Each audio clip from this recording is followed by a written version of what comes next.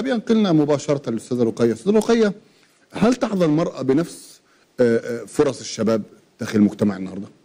اولا في ثلاث أقسام للمرأة في مصر المرأة العاملة. نعم. في امرأة قررت إن هي تشتغل واختارت الطريق آه، تماما زي ما هي عايزة في مجال معين وقدرت توصل بالشكل ده. في مرأة تانية هي عايزة تشتغل بس مش عارفة هتعمل إيه أو ما لقتش المكان اللي هي عايزاه. فاضطرت إن هي تشتغل أي شغلانة من حيث إن هي تحسن وضعها الاقتصادي وفي نفس الوقت تبقى هي شغالة وتحاول تحقق ذاتها. والثالثه المرأة التي أجبرت على العمل. من بسبب الظروف الاقتصادية الصعبة وبسبب محاولتها للمساعدة على تحسين وضعها ووضع زوجها الاجتماع الم- الاقتصادي عفوا نعم.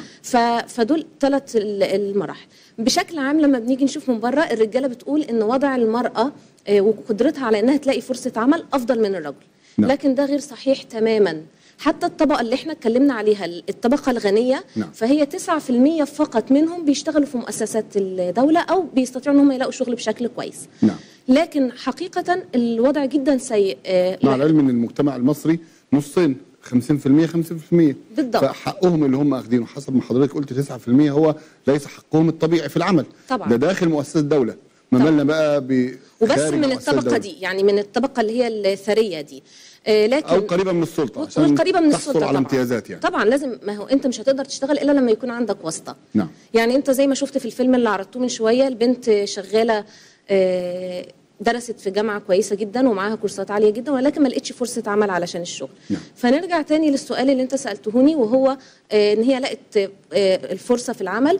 للأسف المرأة وضعها سيء جدا لأن فرصة بتلاقي ولكن بتكون أقل. بمعنى إنه آه، إذا هتشتغل المرأة شغلانة فرضا سكرتيرة. فلما أقول لك سكرتيرة طبعا مع احترامي لكل الناس اللي شغالين هتاخد مبلغ زهيد جدا. نعم. لكن في المقابل إذا جبت راجل في المكان ده هيحتاج مبلغ كبير ومش هيتقال عليه سكرتير هيتقال عليه ده مدير أعمال فلان الفلاني.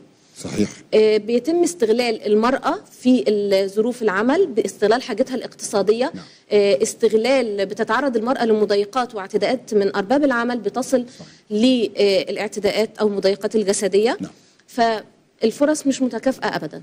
نعم. فلما نتكلم عن مجتمع مصري آه، مفروض إنه وصلنا ل 104 مليون تقريبا آه، 5% بس من المصريين اللي شغالين داخل آه، من المصريات شغالين داخل الدوائر الحكومية وباقي النساء بتشتغل. عدد النساء اللي هم شغالين آه، في الأماكن ال- أو العمل خارج المؤسسات الحكومية تقريبا بشكل عام في آخر إحصائية اقترب من 23% بيتراوح أعمارهم من 15 سنة لحد 64 سنة. نعم. فالفئه دي بتشتغل مش بتلاقي شغل في المجالات اللي هي عايزاها فبتضطر إن هي تشتغل زي ما عرضتم في الفيلم.